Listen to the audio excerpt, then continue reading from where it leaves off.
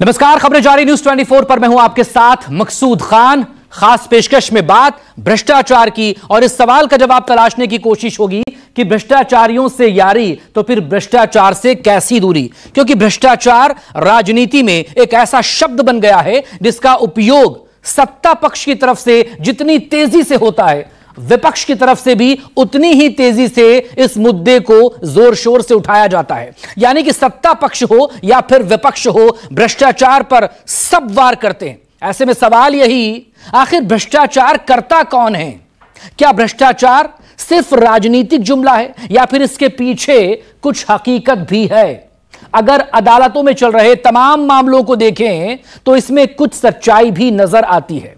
लेकिन जब बात सरकार की होती है तो भ्रष्टाचार के साथ एक नाम और जुड़ जाता है, और वो नाम है जाँच एजेंसियों का, जिन पर ऐसे में मामलों में कार्रवाई का जिम्मा होता है। लेकिन एजेंसियों पर सरकार के इशारे पर कार्रवाई के आरोप लगते हैं। तमाम ऐसे सवाल हैं जो आज प्रधानमंत्री नरेंद्र मोदी के भाषण के दौरान तब उठ खड़े हुए, जब उन्होंने भ्रष्टाचार पर कार्रवाई की बात कही और अपनी सरकार की ज़ीरो टॉलरेंस नीति की बात की।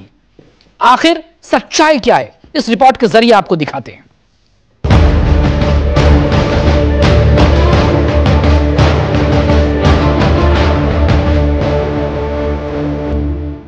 फिर बाहर आया भ्रष्टाचार का चिन्ह। पीएम का भाषण विपक्ष हुआ खिन्न। भ्रष्टाचार के विरुद्ध लड़ाई ये मेरे लिए चुनाव हार जीत का तराजू नहीं है। दोहरी नीति पर फिर किया वार। पिक एंड चूज़ न करो सरकार।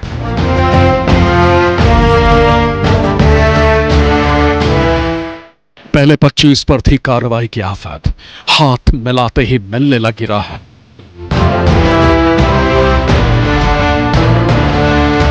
भ्रष्टाचार विकास के राह में बड़ा नासुक। क्या वॉशिंग मशीन फॉर्मूले से होगा दो? मैं कुछ बयान आपके सामने रखता हूँ।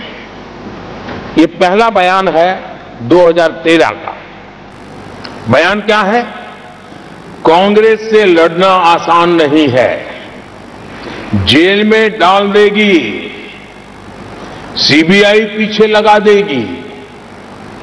कांग्रेस, सीबीआई व इनकम टैक्स का भय दिखा करके समर्थन लेती है। ये स्टेटमेंट किसका है? ये बयान है स्वर्गीय मुलायम सिंह जी का। मैं राम राम गोपाल जी को भी कहा, जरा भतीजे को भी बताएँ। क्योंकि उनको भी याद दिलाए कि राजनीति में कदम रखते ही भतीजे पर सीबीआई का फंदा लगाने वाले कौन थे? जरा याद दिला दें उनको। पता चलेगा।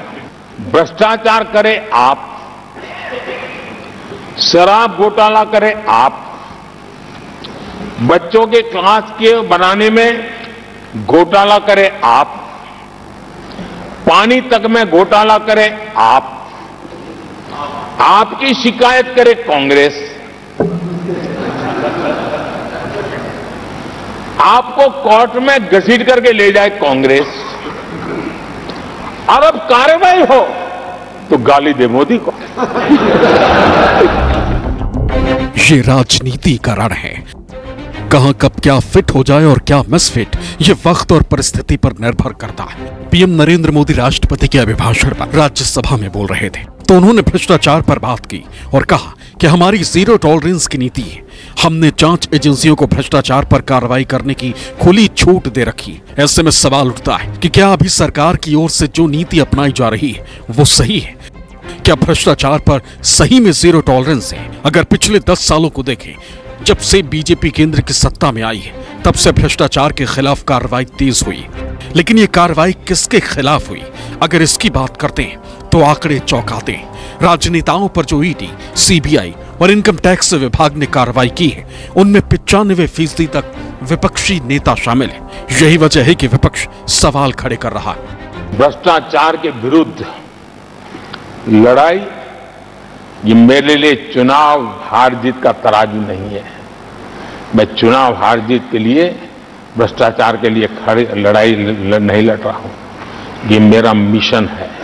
भ्रष्टाचार एक ऐसी दिमक है जिसने देश को खोखला कर दिया है। इस देश को भ्रष्टाचार से मुक्ति दिलाने के लिए, भ्रष्टाचार के प्रति सर्वसामान्य सामान्य मानवीय के मन में नफरत पैदा करने के लिए मैं जी जान से जुटा हुआ हूँ और मैं इस पवित्र कार्य मानता हूँ।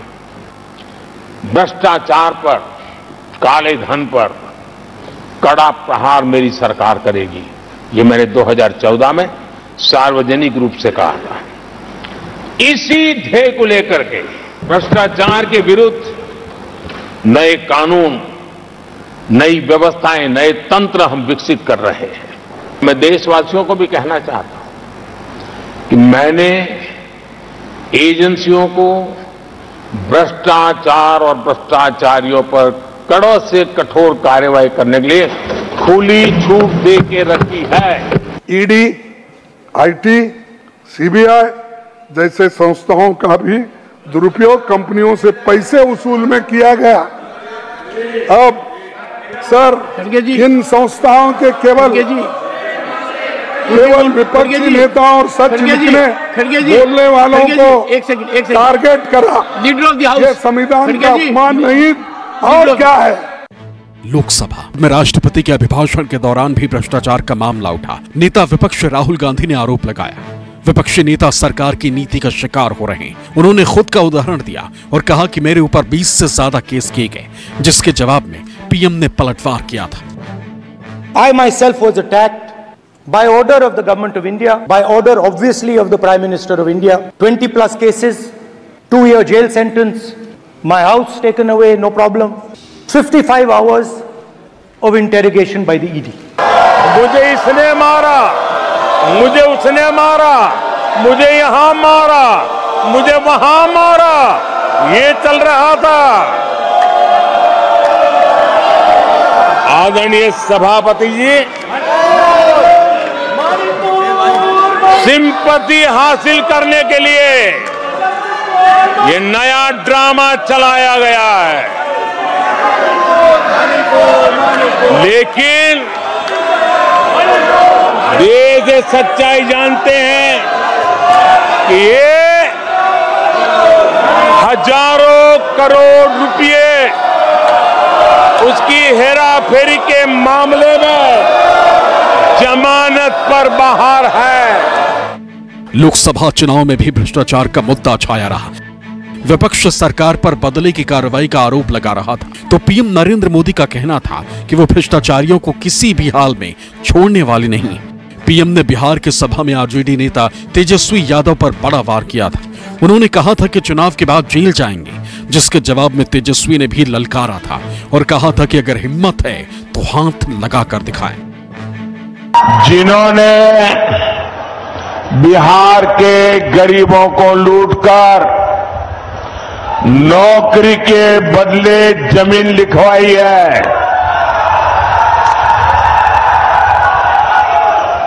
कान खोल के सुन लो। उनका भी जेल जाने का काउंट डाउन शुरू हो चुका है। ये जैसे ही ये हेलीकॉप्टर में चक्कर मारने का समय उनका पूरा होगा। जेल का रास्ता तय हो जाएगा। बिहारी गुजराती से डरता नहीं है। मोदी जी, ये झारखंड और दिल्ली नहीं है, ये बिहार एक बार हाथ लगा करके तो दिखाओ। बिहारी है, बिहारी। किसी से डरता नहीं है बिहारी। हमारे भगवान कृष्ण का जन्म ही जेल में हुआ है। डरा किसको रहे हम लोग क्यों डरेंगे? भ्रष्टाचार के मामलों में विपक्षी नेताओं पर जिस तेज़ी से कार्रवाई होती, उतनी ही तेज़ी से वो कार्रवाई रुक भी जाती। अगर विपक्ष के नेता सत्ता पक्ष यानी बीजेपी में शामिल हो जाएँ तो हम कुछ उदाहरण आपके सामने रखते हैं। ये देश के कद्दावर नेताओं से संबंधित है, जिन पर भ्रष्टाचार के आरोप थे, लेकिन जैसे ही पाला बदला, कार्रवाई या तो बंद हो गई, या फिर ठंडे बस्ते में चली गई। अजित पवार, महाराष्ट्र के डिप्टी सीएम अजित पवार जब सिंचाई मंत्री थे उस दौरान कथित रूप से सत्तर हज़ार करोड़ का घोटाला हुआ था, जिसका आरोप उन पर लगता था। अजित पवार डिप्टी सीएम बने। उसके दो दिन बाद ही मामले को एसीबी ने बंद किया। उसके अधिकारियों ने कहा कि इसके किसी मामले में अजित पवार का नाम नहीं था। Praful Patel, Air India, Indian Airlines के मर्जर में कथित घोटाले के आरोपी थे। ईडी सीबीआई ने मामले में प्रफुल्ल पटेल से पूछताछ की थी। घोटाले के आरोपी दीपक तलवार प्रफुल्ल पटेल के करीबी थे। 840 करोड़ के कथित घोटाले से संबंधित ये केस था। एनडीए में शामिल होने के कुछ महीने बाद सीबीआई ने मामले में क्लोजर रिपोर्ट लगा दी। हेमंत विश्व शर्मा। असम के मुख्यमंत्री हेमंत विश्व शर्मा शारदा चिटफंड कंपनी के घोटाले में नाम आया था। 2014 में सीबीआई ने पूछताछ की थी। शर्मा पर आरोप है कि उन्होंने शारदा कंपनी के मालिक और घोटाले के मुख्य आरोपी सुदीप्त सेन से रिश्वत ली थी। इसके बाद हेमंत विश्व शर्मा बीजेपी में शामिल हो गए। इसके बाद सीबीआई ने कभी पूछताछ के लिए नहीं बुलाया। शुभेंदु अधिकारी, पश्चिम बंगाल में बीजेपी का चेहरा शुभेंदु अधिकारी का नाम नारदा, स्टिंग और शारदा चिटफंड घोटाले में आया था। तब टीएमसी के नेता थे और राज्य सरकार में मंत्री थे। शारदा चिटफंड घोटाले के मुख्य आरोपी सुदीप्त सेन ने 2020 में सीबीआई को चिट्ठी लिखी थी, जिसमें शुभेंदु अधिकारी को 6 करोड़ देने की बात की थी। शुभेंदु अधिकारी 2021 में बीजेपी में शामिल हुए। उनसे ईडी और सीबीआई ने कभी पूछताछ नहीं की। मुकुल रॉय, नारदा स्टिंग केस में नाम आया था। 2016 में यह स्टिंग सामने आया था। 2017 में मुकुल रॉय को ईडी ने पूछताछ के लिए नोटिस भेजा था। लेकिन इसके कुछ दिन बाद ही उन्होंने बीजेपी ज्वाइन कर ली। 2021 में मामले में चार्जशीट दाखिल हुई। तो इसमें मुकुल रॉय का नाम शामिल नहीं था। चार्जशीट दाखिल होने के बाद मुकुल रॉय फिर से टीएमसी में शामिल हो गए। नारायण राणे 2016 में बीजेपी नेता किरीट सोमैया ने ईडी को चिट्ठी लिखी थी, जिसमें नारायण राणे पर 300 करोड़ की मनी लॉन्ड्रिंग का आरोप लगाया था। 2017 में नारायण राणे कांग्रेस से अलग हुए। 2018 में बीजेपी में शामिल हो गए। बीजेपी ने पहले उनको राज्यसभा का सदस्य बनाया और फिर मंत्री। उनके खिलाफ कभी जाँच नहीं। अब हम बात करते हैं 2014 से 2024 तक की। अगर इस दौरान देखें तो 25 ऐसे नेता जिन पर जाँच का शिकंजा कसा जिसके बाद उन्होंने बीजेपी ज्वाइन की। इनमें से 23 को राहत मिल गई। इनमें तीन के केस को बंद कर दिया गया, जबकि 20 के खिलाफ जाँच को ठंडे बस्ते में डाल दिया गया। बीजेपी में शामिल होने वालों में सबसे ज़्यादा 10 नेता कांग्रेस के हैं। इसके बाद एनसीपी और शिवसेना के चार चार नेता शामिल हैं, जबकि टीएमसी के तीन टीडीपी के दो, समाजवादी पार्टी का एक और वाईएसआरसीपी का एक नेता शामिल है। अब हम आपको जेडीयू के पूर्व अध्यक्ष ललन सिंह का बयान सुनवाते हैं, जिन्होंने भ्रष्टाचार को लेकर बीजेपी पर गंभीर आरोप लगाए थे। उन्होंने वॉशिंग मशीन मॉडल की चर्चा की थी। यह बयान दिसंबर 2022 का है, जब वो महागठबंधन में शामिल थे। बीजेपी वॉशिंग मशीन, ये लोग समझते हैं। जो बीजेपी के अंदर गया, वो उसमें से जब निकला तो उसके सारे दाग धुल गए। और बाकी जो लोग विपक्ष में हैं, वो सब दागदार हैं। आएगा सिंडिकेट होगा। अब ललन सिंह का दल जेडीयू, एनडीए का हिस्सा है और वो केंद्र सरकार में मंत्री सरकार के कामों की बड़ाई कर रहे हैं। लेकिन एक समय ऐसा था जब वो इस तरह के आरोप लगा रहे थे। क्या वर्तमान सरकार में ही भ्रष्टाचार को लेकर ऐसी कार्रवाई होती है? ये सवाल भी उठता है। तो इसका जवाब पीएम नरेंद्र मोदी के भाषण में ही छिपा है, जिसमें वो समाजवादी पार्टी के नेता राम गोपाल यादव को भतीजे को समझाने की बात कह रहे हैं। मैं कुछ बयान आपके सामने रखता हूँ। ये पहला बयान है 2013 का। बयान क्या है? कांग्रेस से लड़ना आसान नहीं है। जेल में डाल देगी। सीबीआई पीछे लगा देगी। कांग्रेस, सीबीआई व इनकम टैक्स का भय दिखा करके समर्थन लेती है।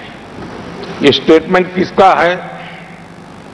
ये बयान है स्वर्गीय मुलायम सिंह जी का। कांग्रेस एजेंसियों का कैसा दुरुपयोग करता है, ये मुलायम सिंह जी ने कहा था। और यहाँ इस सदन के माननीय सदस्य रामगोपाल जी को मैं जरा पूछना चाहता हूँ कि रामगोपाल जी, क्या नेताजी कभी झूठ बोलते थे क्या? नेताजी तो सच बोलते थे। आदरणीय सभापति जी मैं राम राम गोपाल जी को भी कहा, जरा भतीजे को भी बताएँ। क्योंकि उनको भी याद दिलाए कि राजनीति में कदम रखते ही भतीजे पर सीबीआई का फंदा लगाने वाले कौन थे, जरा याद दिला दें उनको, पता चलेगा। साफ़ है कि पहले की सरकारों में ऐसी कार्रवाई होती रही, भ्रष्टाचार के उन्हीं मामलों में कार्रवाई तेज होती रही, जिसमें सरकार चाहती जाँच एजेंसियों की ओर से ताबड़तोड़ कार्रवाई होती। रिश्वत ही सिर्फ़ भ्रष्टाचार की श्रेणी में नहीं आता है, बल्कि राजनीतिक पद पर बैठे हुए व्यक्ति अगर किसी को अपने पद का दुरुपयोग करके फ़ायदा पहुंचाते हैं, वो भी भ्रष्टाचार की श्रेणी में आता है। ऐसे में लेन देन और भ्रष्टाचार राजनीति में जिस तरह से सम्मिलित है, वो भी राजनीति के इर्द गिर्द ही घूमती है। जाँच एजेंसियों पर अभी नहीं, पहले भी आरोप लगते रहे, गंभीर आरोप भी लगते रहे। लेकिन सरकार का हस्तक्षेप ऐसा होता है, जाँच एजेंसियाँ इसको लेकर कभी खुलकर नहीं बोल पाती। एक केस की सुनवाई के दौरान सुप्रीम कोर्ट ने सीबीआई पर सवाल खड़े किए थे और सीबीआई को तोता तक कह दिया था। लेकिन अब एक बार फिर से दिल्ली के मुख्यमंत्री अरविंद केजरीवाल को लेकर दिल्ली के कोर्ट की टिप्पणी सामने आई है जिसमें एजेंसीज पर सवाल खड़े किए गए हैं उनकी गिरफ्तारी को लेकर। राजनीति के जानकार भी कहते हैं कि भ्रष्टाचार के मामले को लेकर भले ही सरकारों की ओर से निष्पक्ष कार्रवाई का दावा किया जाता है लेकिन इसकी सच्चाई कुछ और है। सत्ता का तो हर कालखंड में एक अपना चरित्र रहा है और जिस पार्टी की भी सत्ता रही है, वो पार्टियाँ अपने अपने तरीके से एजेंसियों का लाभ अपने हितों में लेते रही है। तो बिल्कुल, जो भी पार्टी हो, जिस पार्टी के भी प्रधानमंत्री हों, ज़ीरो टॉलरेंस की बात करें, बहुत अच्छी बात है, लेकिन ज़ीरो टॉलरेंस दिखना चाहिए दोनों तरफ़। हो सकता है कि ज़्यादा से ज़्यादा विपक्षी नेता उसके दायरे में आते हों। लेकिन सत्ताधारी दल के लोग भी अगर उसके दायरे में आते हैं तो उनके साथ भी वही व्यवहार होना चाहिए जो विपक्षी पार्टी के नेताओं के साथ होना चाहिए। साफ़ है, भ्रष्टाचार पर भले ही सरकारें ज़ीरो टॉलरेंस की बात करती, लेकिन धरातल पर सच्चाई कुछ और होती। हाँ एक बात और सही है कि पूर्व की सरकारों में उतनी कार्रवाई नहीं होती थी, जितनी कार्रवाई पिछले दस सालों में नरेंद्र मोदी के पीएम रहने के दौरान हुई। Bureau report news 24